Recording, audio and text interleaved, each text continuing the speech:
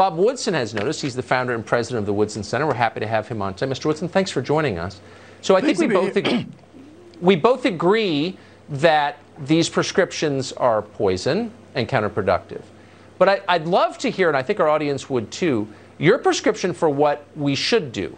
So if you were running, if you were Kamala Harris's place or in Joe Biden's place or the president's place, what would you say to the country about what we need to do to fix our problems? Okay, well, first of all, I think Kamala Harris should uh, lead by example.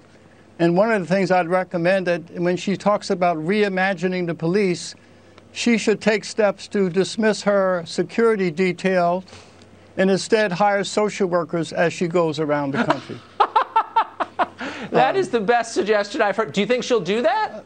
Well, I, am going to recommend that maybe she's watching and she'll she'll heed that, because people like Kamala Harris do not have to live with the consequences of their advocacy.